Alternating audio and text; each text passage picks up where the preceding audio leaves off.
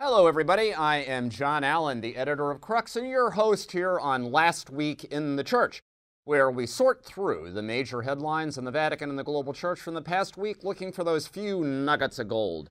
Now, this week is going to be a kind of eclectic episode of the program. We are going to have a few news headlines, but yesterday, Monday, was also D Day in the Vatican, by which I don't mean that the Vatican invaded Europe. What I mean is, it was the one decade anniversary for Pope Francis. It was 10 years ago, as of Monday, March 13th, 2013, when he was elected to the throne of Peter. So we're also going to throw in a kind of analysis of where things stand for Pope Francis at the one decade mark. All that and more is waiting for you this week on Last Week in the Church. So please, for the love of God, stick around. All right, everybody, happy Tuesday to you. Thank you for being with us once again here on Last Week in the Church. As we mentioned, yesterday was the big day. It was the one decade anniversary of the Francis papacy. And actually, to be honest, despite the sort of monumental nature of the moment, right? Because I think we would all agree, this has been a dizzying, a dramatic, even a divisive decade with Pope Francis at the top of the Catholic system. But despite all that, the Vatican really didn't play it up particularly. There was a Mass with cardinals in the morning to mark the Pope's anniversary.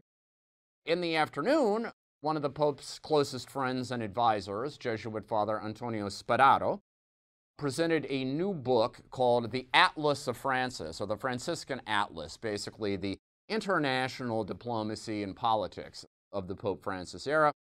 At the headquarters of Civiltà Cattolica, that's the Jesuit edited publication, semi official Vatican status, that Spadaro leads, and was in the presence of the Italian Prime Minister Giorgia Meloni. Pope didn't even show up for that. So, really, other than the Mass with cardinals, Pope Francis did not go out of his way to make a big deal out of this anniversary, but that's okay because plenty of other people, including us, made a big deal out of it for him. So, on this week's show, we are going to very briefly traipse through a few news headlines from the past week. Then I'm going to offer you a kind of, well, I'm going to admit it, a deliberately inexact and also deliberately jarring analogy, but one that is intended to try to capture the crossroads which the Francis papacy stands right now. All right, let's begin with those news headlines. So, the Vatican's trial of the century, that is, this mega trial for financial corruption against 10 different defendants, including for the first time a cardinal of the Catholic Church, Italian Cardinal Angelo Becciu, continued last week. And, and probably the single most interesting development was that prosecutors in the case introduced into evidence an exchange of letters between Pope Francis and Becciu, which dates from July 2020, basically when the indictments in this case were first delivered. And you could call this sort of the Pope's Dear John letter, although, of course, it's actually Dear Angelo, because the figure in question is Cardinal Angelo Becciu.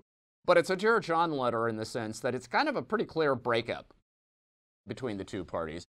Basically, what happened is this Becciu, knowing that he had been indicted, wrote the Pope to say, look, you know, under ordinary circumstances, I would have to call you as a witness to demonstrate that I'm innocent.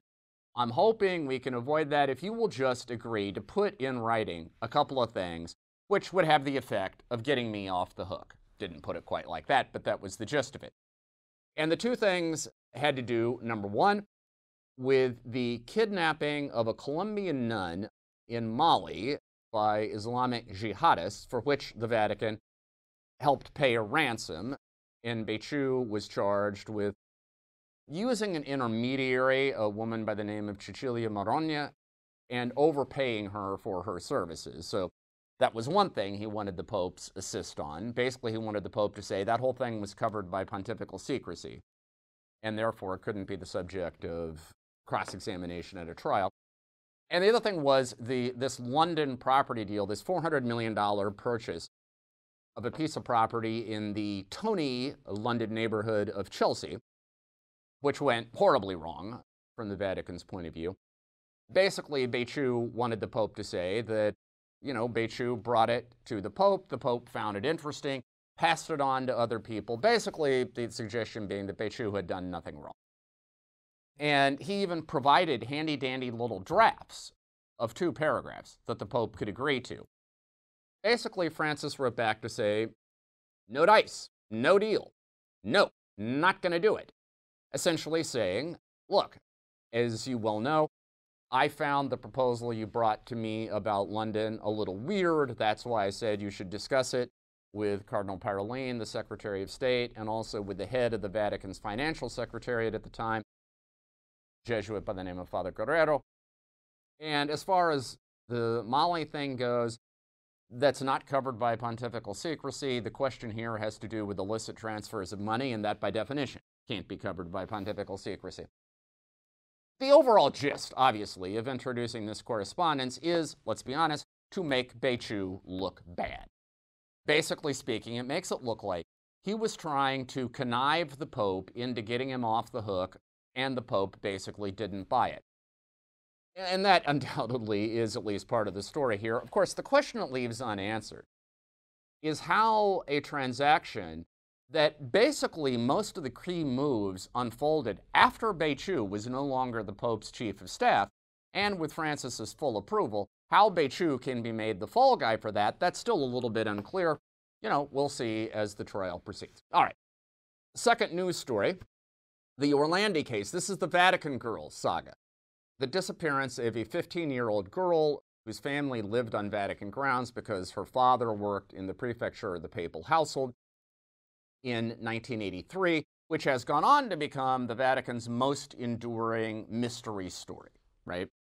We've had occasion to talk about it many times in this program. The latest developments are that the Vatican hasn't had announced, and by, by the Vatican, I mean the promoter of justice in the Vatican, basically it's, I guess you could say it's DA, had announced that they were going to open an investigation. This because the Italian parliament also has opened its own investigation, and there's a lot of pressure around the case because of a very popular four part Netflix documentary called Vatican Girl. All right. Now, here's the most the interesting development from the past week. The Vatican has always maintained that prior to this point, it has never conducted an actual investigation of the Orlandi case. It has cooperated with all the civil investigations that have been done, but it's always maintained we don't have any documentation ourselves.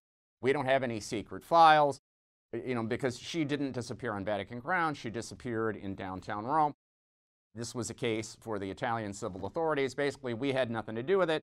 We've answered questions when asked, but that's it. That's always been their claim.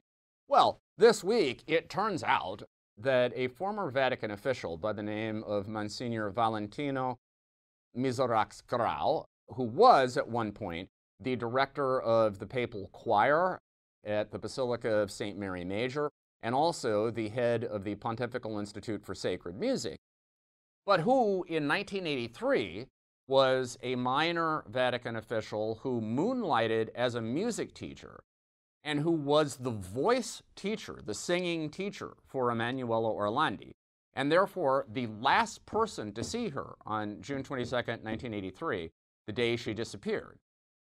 It, it turns out that 10 years ago, he was summoned by the head of the Vatican gendarmes, who at the time was an Italian layman by the name of Domenico Giani, and also by the assessore, in the Secretary of State at the time, that's number three official, who at that moment was an American by the name of Peter Wells, was now the, the nuncio in South Africa. And this guy, Miserachs Grau, was essentially interviewed by them. Now, listen, this is the, the Vatican gendarmes, their police force. That means there certainly had to be a transcript of that interview, what the Italians call a verbale, which means there is some kind of file, at least, on the Orlandi case. Now, Miserachs Grau said he didn't know if he was the only person talked to or if there were others that the gendarmes interviewed at the same time. Worth noting that this was just a few days before the Vicariate of Rome agreed to open the tomb of a guy by the name of Enrico de Pedis, an infamous Roman mob boss who, through a bizarre set of circumstances, had been buried in a crypt in the Basilica of Saint Apollinare in Rome. And there had actually been speculation that maybe Orlandi's body was in that same crypt. So the Vicariate of Rome finally agreed to open it up. Orlandi was not discovered, but it was around that time. Point is, we now know that the Vatican did at one point conduct some sort of investigation, and there have to be some kind of records.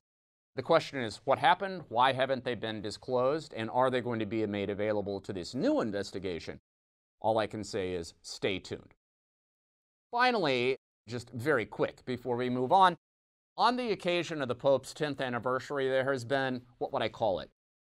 An avalanche, a tidal wave, a tsunami of new Pope interviews. In the last, oh, 72 hours, by my count, there are at least four, and I probably have missed some. But two of these were with Argentinian outlets, one with an Italian newspaper, and one with a Swiss TV station. Now, for the most part, these interviews didn't create major headlines. The Pope largely repeated things he has said before, but just a couple of tidbits worth picking up. First, in one of them, he talked about priestly celibacy. And while he did not say he is on the verge of getting rid of priestly celibacy, he did say that this is a discipline, not a dogma. He said it's here today. There's no reason it couldn't be gone tomorrow.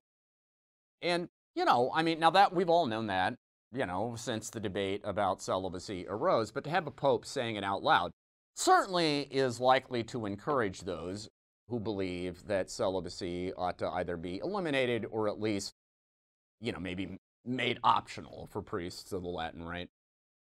Another note Pope talked about Ukraine, said the Vatican has no secret peace plan for Ukraine, but it wants to be of service in the efforts to bring an end to the Ukraine conflict. The Pope emphasized once again that he would very much like to go to Kiev, but he will only go if he can also go to Moscow. He wants to meet both with Zelensky and with Putin. He suggested the Vatican might be a place for a face to face encounter between Zelensky and Putin. Suggested that it might not just be the Vatican that could help engineer that, but other parties, including, he mentioned, the State of Israel, which, of course, today has 1.5 million Russian speaking immigrants and therefore has been keenly involved in the negotiations surrounding the Ukraine conflict from the beginning. So, all this by way of saying the Pope continues to remain highly engaged with Ukraine. One other point of note that in these interviews, he also went out of his way to say nice things about both Vladimir Putin of Russia, who in one of these interviews he referred to as a very cultured man, he noted they have met three times. He said one time he and Putin discussed literature. He noted that in addition to Russian, Putin speaks very fluent English and German. And basically said he's a very cultured man with whom one can have conversations at a very high level. And then of Prime Minister Narendra Modi in India, the Pope called him a very balanced figure and said that he was optimistic that Modi was the kind of person who could appeal to both Zelensky and Putin and perhaps move the ball in terms of creating space for peace negotiations. Now, what's interesting about all this is that this is not the kind of rhetoric that you would hear from most Western leaders today. I mean, Joe Biden is not going to have too many nice things to say about Vladimir Putin right now. Neither will Ursula von der Leyen, who is the head of the European Commission neither will Emmanuel Macron or Giorgia Meloni of Italy or most other European leaders. You know, as far as Modi goes, you know, Western nations are trying to do business with Modi, but they also know that Modi's record on human rights and democracy is a little challenged, and he's also acquiring a reputation somebody who is promoting currents hostile to religious freedom, including hostile to India's Christian minority, which doesn't play well in, in some Western circles. And so to see Pope Francis praising these two leaders is just a, it's another reminder of how Pope Francis is making it clear to the world that he is not a Western leader. He is the leader of an institution, two thirds of whose membership lives outside the West. It lives in the global South. And by mid century, that's going to be three quarters. Now, we've always known that demographically, but Pope Francis is making that clear geopolitically and diplomatically. That's jarring to Western sensitivities, but it's also an apt reminder that that is who and where the Catholic Church is these days. All right, finally, before we go, a quick thought on the Pope's 10 year anniversary. As I said at the beginning, I am going to acknowledge that the analogy I'm about to roll out is inexact and deliberately provocative. Nevertheless, bear with me. So, Pope Francis was elected a decade ago on a clear reform mandate, right? The, the cardinals who elected him, to begin with, they wanted him to clean up the perceived financial and administrative mess in the Roman Curia, that is, the Vatican's central bureaucracy. More broadly, Pope Francis also wanted to revive the reforming spirit that he associated with the Second Vatican Council in the mid 1960s. He has set about, and he's a strong leader with a clear vision. So he has set about on multiple fronts trying to chart a new course for the Catholic Church. This is a church where seemed its course seemed sort of frozen in time for 35 years under two broadly speaking conservative popes john paul ii and benedict xvi and so there was a lot of pent up energies for change that accumulated during those 35 years that have been unleashed under pope francis and the question that now poses itself is whether pope francis the reformer is going to be able to contain the energies he has set loose, or whether they are going to run ahead and beyond his own intentions. Here's the analogy Mikhail Gorbachev. Mikhail Gorbachev, the last premier of the Soviet Union, like Pope Francis, came to power on a reform mandate. Like Pope Francis, he wanted to shake up an institution that had seemed frozen in time. He wanted to revitalize it, set it on a new course and encourage internal change. Like Pope Francis, he was very popular abroad. Mikhail Gorbachev was a rock star around the world, but he was very controversial at home. Gorbachev, like Pope Francis, encountered opposition both from the right, that is, in, in uh, Gorbachev's case, these would be hardcore Soviet hawks, right, who didn't want to see the Soviet empire change. But he also encountered opposition from the left. These would be liberals that wanted to see that change go farther and faster than Gorbachev was comfortable with. Same story for Pope Francis, isn't it? I mean, he's got strong opposition from the Catholic right, including, most recently, traditionalists who are upset about his policies on the Latin Mass and so on. But he also has problems and headaches on the left, doesn't he? The most recent reminder of that comes from Germany, where the controversial synodal way in Germany ended with a vote in favor of blessing same sex unions, a policy that is explicitly at odds with instructions given by the Vatican's former congregation, now dicastery, for the doctrine of the faith. And not quite clear exactly what is going to happen should Pope Francis try to rein in these, these changes that the German church has now formally voted to endorse and adopt. So, like Gorbachev before him, Pope Francis is beset both on the right and the left. And the drama here is is Pope Francis going to be able to put the genie back in the bottle? Can, can he contain these centrifugal energies that, that he has triggered? Or are they going to run ahead of him and end up not in the reform that this Pope wants, but in the revolution that he is desperately trying to avoid? Gorbachev, of course, failed on that front. And, you know, for the rest of his life, until he died just last year, Gorbachev maintained that had his reform program succeeded, Russia would have been spared the economic collapse of the shock therapy years and would have been spared the return to authoritarianism and imperialism under Vladimir Putin. You know, we don't know because that's a counterfactual claim because in the end, all the king's horses and all the king's men couldn't put Gorbachev's Humpty Dumpty back together again.